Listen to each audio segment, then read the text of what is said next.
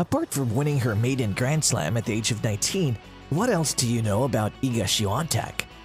She astonished the tennis world by winning the 2020 French Open as an unseeded player. She was born in Warsaw, Poland in 2001. Swiatek has a special position in tennis history along with 19-year-old British adolescent Emma Raducanu, who won the 2021 US Open at the age of 18. Her entire life has been a masterpiece, and we bring to you some fascinating facts about Iga Swiatek. So stay till the end and don't forget to subscribe. Number 1. She started out like Agnieszka Radwanska. Radwanska and Swiatek both made their Grand Slam debuts in their sixth and inaugural quarterfinal appearances, respectively.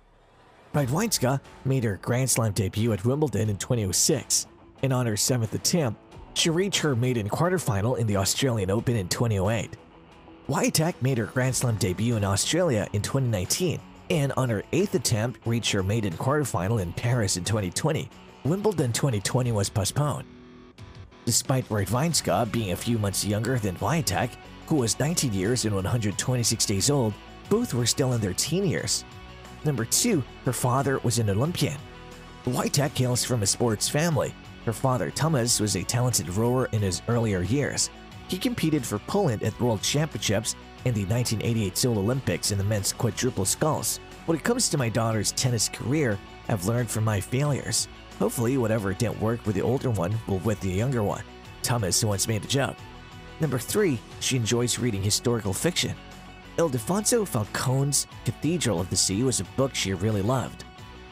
She also reads Ken Follett's historical works, but she admitted that they are often quite thick. When she needs something more manageable, she turns to Dan Brown or some mystery fiction. Number 4. She attends competitions with a psychologist. Sports psychologist Daria Abramowicz travels with coach Piotr Sierzputowski to Swiatek's competitions and is a permanent member of the coaching staff. It's no accident that a psychologist is here. When she was younger, she frequently battled her emotions on the court, exploding after a poor play and losing control of the game. I get a ton of assistance from Daria. She made sure I was ready for the fight before the match in Paris against Simona Halep. I was able to act independently. Because of that, I've got the Romanian. Number 5. She listens to rock music.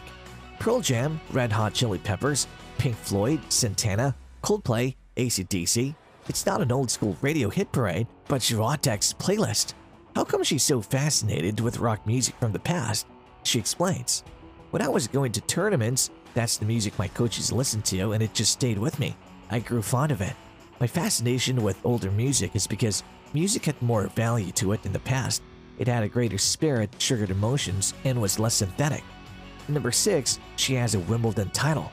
Her greatest accomplishment was winning Wimbledon in 2018 when she defeated Leonie Küng of Switzerland 6-4, 6-2 and became the fourth Pole to win a junior title on the London lawn courts, joining Agnieszka, Ursula, and Aleksandra Olsza. She and Chwalińska reached the Australian Open Junior Doubles Championship final in 2017. Together with American Caty McNally, she won her maiden junior Grand Slam doubles match under Roland Garros courts in 2018. Number 7. She's a crazy cat lady.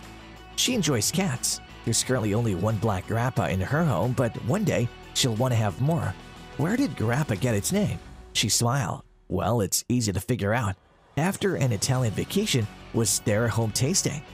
Number 8. She played for Legia Warsaw.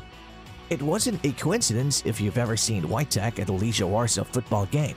She spent a few years playing tennis for the club, practicing on their courts and posing for pictures with a recognizable L.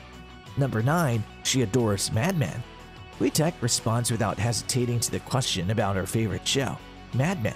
She disclosed, This series captures the early days of American advertising in an interesting way, while maintaining a cool retro vibe because it is set in the 1960s. It's important to me to be able to learn something new from a series. Number 10.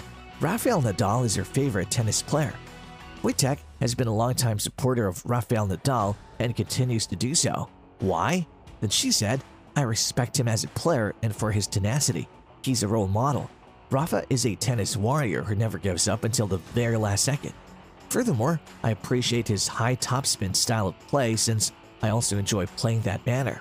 He won multiple tournaments thanks to his amazing left-handed forehand. As a tennis player, who is in the league of his own, Roger Federer is someone I like and respect, but when it comes to flair and personality, I'm more into Rafa because I adore his energy. Sorry. That's all. If you enjoy the video, do like, share, comment, and subscribe. See you next time.